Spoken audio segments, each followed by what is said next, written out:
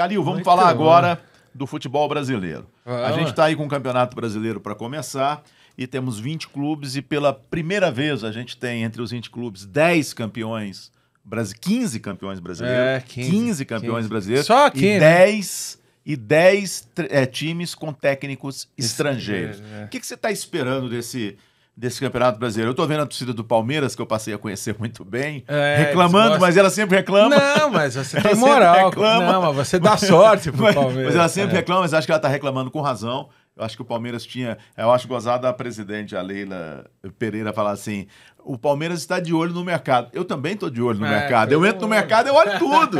Eu olho tudo, eu quero comprar isso, eu quero comprar, comprar. Todo né? mundo está de olho no mercado. Mas eu acho que precisava realmente ter E sido ela reforçado. fez uma declaração também meio é, peitando o torcedor, não É, foi? Que eu ela- não, não achei legal, é, fala assim. ah, eu não vou, não vou fazer não, não vou contratar para fazer a É, vontade não, do torcedor. você pode falar isso de outra forma, Sim, sabe? Parece que concordo. tá contra o torcedor do Concordo, próprio time. concordo. Aí você tem o Flamengo que tá com um timaço, você tem o Corinthians que, que manteve uma boa base, você tem o Fluminense que, que se reforçou bastante, você tem o São Paulo que o Rogério Ceni continua reclamando, É, recebeu alguns jogadores e continua reclamando. O que, que você espera desse. O, o, o Galo, que perdeu algumas peças, mas também se reforçou. O que, que você espera desse campeonato, Caio? Ah, você falou uma coisa interessante, tá? Eu considero o Campeonato Brasileiro o melhor campeonato de clubes do mundo, não o nível técnico mais elevado, né? E claro que os países onde tem mais dinheiro tem jogadores melhores, tem um nível técnico melhor, mas o Campeonato Brasileiro para mim é o melhor pela questão do equilíbrio.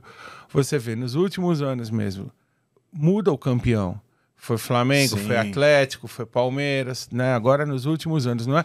Você pega de, desde que começaram os pontos corridos, tem um monte de campeões.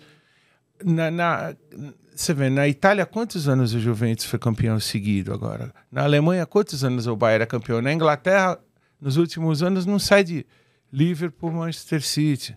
De vez em quando, agora o Arsenal é líder, mas não sei se vai sustentar até o fim. Na Itália, agora o Napoli voltou a ser líder, mas que- também a sim, gente sim. Mas se- será que pro tamanho do Brasil, e se eu olhar o tamanho desses países, assim, e o número de times, né? Não, não fica, às vezes, um pouco meio viciado também no Campeonato Brasileiro? Não, ah, tem a impressão que são sempre uns, sei lá, uns oito que estão ganhando Copa do Então, Brasil, mas Campeonato mesmo que Brasileiro. seja oito, você vê, já é mais do que os outros países. Eu acho bacana pelo seguinte: você vê o Grêmio, o Grêmio subiu da segunda divisão agora. O Grêmio, o Grêmio montou um belo time, você vê a estreia do Soares Sim, aí, sim. a sensação, né? A maior contratação do, do futebol brasileiro não foi do. O Flamengo fez uma grande contratação que foi o Gerson, mas a maior contratação Sem foi do dúvida. Grêmio.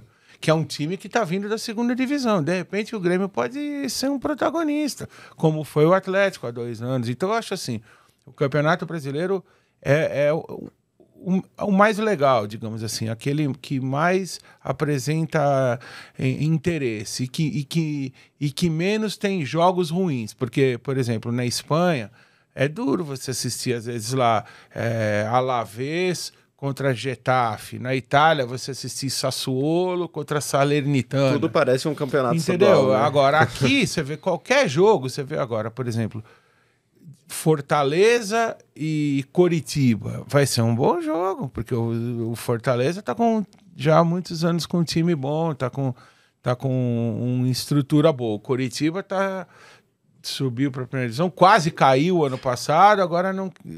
Então, assim, não tem jogo que você fala assim, ah, esse jogo é uma porcaria, esse jogo não vale nada. Não tem, sempre vale alguma coisa.